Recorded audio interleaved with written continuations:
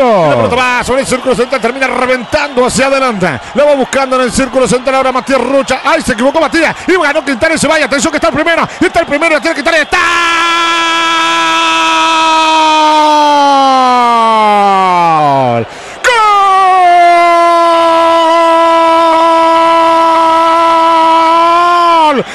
Plaza Colonia. ¿Cómo se equivocó Rocha en la entrega en la defensa? Se patinó, claro. No era la pokebola del entrenador Marcelo Méndez. No sacó el Pokémon de agua y este se equivocó. Se terminó resbalando y Ramiro Quintana con oportunismo puro. Dijo acá estoy yo, se fue a pura velocidad. Puso primera, puso segunda, puso tercera y se fue. Y con mucha entrega, mucha lucha cuando lo agarraban, cuando se caía, pero con mucha determinación termina colocando la pelota dentro de las vallas para que defensor esté perdiendo con Plaza Colonia como local. Pierde la chance del torneo intermedio por ahora el Plaza. Gana puntos importantísimos en la tabla del descenso.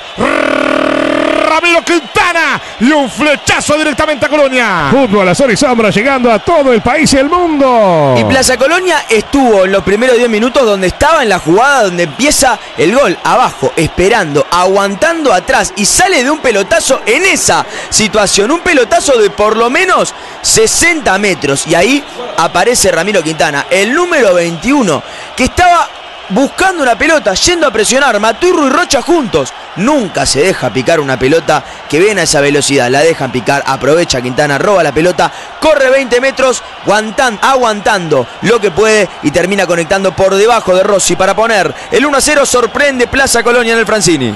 Bueno, tremendo el quedo defensivo del Violeta en el fondo. Lo perdió Rocha cuando lo quiso correr. Ya no se animó a tocarlo porque Quintana había pisado el área. Si lo tocaba la roja y penal. Definió notable. Al pie de apoyo el arquero gana Plaza que hasta el momento solo había esperado. En el fondo se había refugiado. Lo mató de contragolpe. Ahora el Pata Blanca está en ventaja en el Francini. Este Facundo le va a pegar, mira que buen enganche. Le pega, le toca hacia atrás, pegaría el arco, está linda, busca de los saltos. ¡Ay! Pegó en el travesaño. Pegó en el travesaño, increíble, se salvó de milagro. Plaza, casi, casi el empate. Si era un gol de De los Santos, era el gol del partido. Y el del campeonato de la fecha. Se salvó de milagro Plaza. 42 minutos, qué linda, licenciado. Buena pilada de Facundo La Bandera. Desde la banda izquierda se lleva varios jugadores. Termina recibiendo una falta que también devino en tarjeta. La pelota queda en el rebote y ahí aparece el número 24. Que generalmente se ubica entre los zagueros. Pero empieza a avanzar y avanzar. Y ahí termina conectando como conecta para terminar poniendo una pelota en el palo. Dale con esta fase. Bien, hubo cartulina amarilla. Escucho el informe. Creo que si no me equivoco, penal cobró el árbitro. Sí, señor. Penal cobró el árbitro. Al penal y tarjeta. Escucha, informa. Informa la Rica donde todo rueda mejor siempre. Bien, pegó en la mano. La verdad, de loco, lo que estamos viendo. ¿eh? 42 con 40. El informa, dale. Informa la Rica donde todo rueda mejor siempre. Con el número 30 la amarilla es para Ezequiel Silveira y también con el número 5 la amarilla para Agustín Pérez en Plaza Colonia ambos.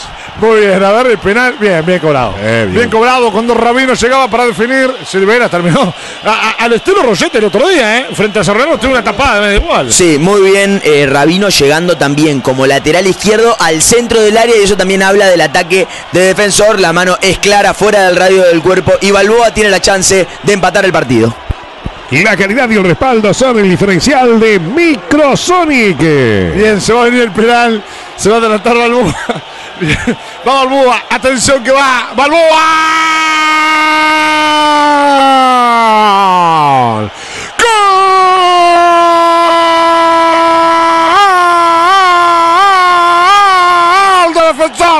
Definió muy, pero muy bien. Adentro, a la mitad del arco, bien por bajo. Para que el arquero se tire a un lado y quede despavorido sobre el sector izquierdo. Buena definición de Balboa con mucha tranquilidad, con mucha paciencia, con mucha paz el delantero. Adrián Balboa y en los 43 con 50 empata el partido de tiro penal. Ahora defensor y plaza están uno a uno. Roque Adrián Balboa y un knockout en el primer tiempo para Plaza. Fútbol a sol y sombra llegando a todo el país y el mundo. Le había tocado la responsabilidad en el partido con Danubio, el número 9 Balboa tuvo la chance de poner un 2 a 0 en ese momento, termina pegando en el palo y termina salvando a Danubio, cambia la estrategia, esta vez le pega despacito y al medio. Termina conectando en el arco porque el golero se tira a su lado izquierdo 1 a 1. El partido defensor empezó a merecerlo más y lo termina consiguiendo.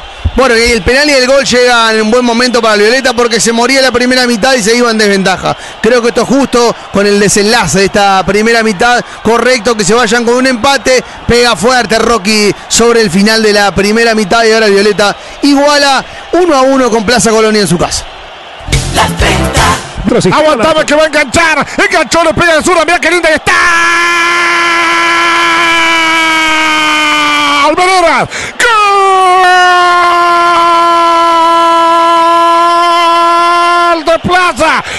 Hizo el arquero Rossi. Seguramente este no quiere camella. A este se lo devoraron. Se fue metiendo dentro de la mancha ese balón. Es un remate potente de Santiago. Pero el arquero no sé qué hizo. Se le escapó debajo de las manos. Inteligente Santiago que enganchó, se perfiló, se animó, le pegó. Y el arquero Rossi, la verdad, no entiendo lo que dice. La pelota está dentro de las manchas a los 57 minutos de partida. Está ganando plaza por 2 a 1. Sa Santi Medeiros el autor del gol.